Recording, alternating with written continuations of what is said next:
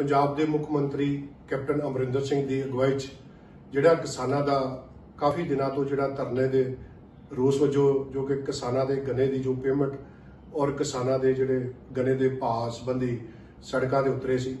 ਅੱਜ ਮਾਨਯੋਗ ਮੁੱਖ ਮੰਤਰੀ ਕੈਪਟਨ ਅਮਰਿੰਦਰ ਸਿੰਘ ਜੀ ਉਹਨਾਂ ਨੇ ਸਮੁੱਚੇ ਆਪਣੇ ਸਾਥੀਆਂ ਦੇ ਨਾਲ ਅੱਜ ਆਪਣੀ ਕੈਬਨਿਟ ਦੇ ਨਾਲ ਜੋ ਫੈਸਲਾ ਕੀਤਾ ਇਸ ਦੀ ਸ਼ਲਾਘਾ ਹੋ ਰਹੀ ਹੈ ਔਰ ਅੱਜ ਕਿਸਾਨਾਂ ਨੂੰ ਬਹੁਤ ਵੱਡੀ ਇੱਕ ਰਾਹਤ ਮਿਲੀ ਹੈ।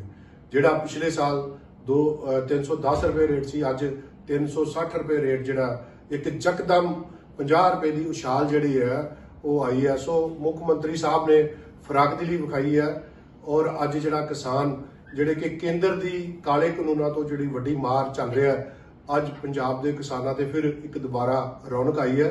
ਸੋ ਮੁੱਖ ਮੰਤਰੀ ਕੈਪਟਨ ਅਮਰਿੰਦਰ ਸਿੰਘ ਜੀ ਜਿਹੜੇ ਪਹਿਲਾਂ ਪਾਣੀਆਂ ਦੇ ਰਾਖੇ ਗਿਣੇ ਜਾਂਦੇ ਨੇ ਅੱਜ ਕਿਸਾਨੀ ਦੇ ਰਾਖੇ ਅੱਜ ਉਹਨਾਂ ਨੇ ਜਿਹੜਾ ਗੰਨੇ ਦਾ ਰੇਟ ਵਧਾ ਕੇ ਆਪਣਾ ਸਬੂਤ ਦਿੱਤਾ। ਮੈਂ ਅੱਜ ਕੈਪਟਨ ਅਮਰਿੰਦਰ ਸਿੰਘ ਜੀ ਨੂੰ ਸਮੂਹ ਆਪਣਾ ਹਲਕਾ ਸ਼੍ਰੀ ਹਰਗੋਬਿੰਦਪੁਰ ਵਾਸੀਆਂ ਵੱਲੋਂ ਲੱਖ ਲੱਖ ਵਧਾਈ ਦੇਣਾ ਔਰ ਪ੍ਰਮਾਤਮਾ ਗੜੀ ਅਰਦਾਸ ਕਰਦਾ ਕਿ ਪ੍ਰਮਾਤਮਾ ਦਿਨ ਦੁਗਣੀ ਤੇ ਰਾਤ ਦੁਗਣੀ ਕਾਂਗਰਸ ਪਾਰਟੀ ਔਰ ਮੁੱਖ ਮੰਤਰੀ ਕੈਪਟਨ ਅਮਰਿੰਦਰ ਸਿੰਘ ਜੀ ਤਰੱਕੀ ਕਰਨ। ਵਾਹਿਗੁਰੂ ਜੀ ਕਾ ਖਾਲਸਾ, ਵਾਹਿਗੁਰੂ ਜੀ ਕੀ ਫਤਿਹ।